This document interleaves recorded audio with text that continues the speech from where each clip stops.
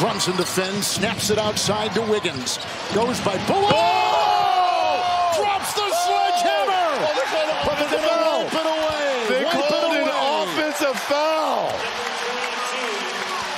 Wow.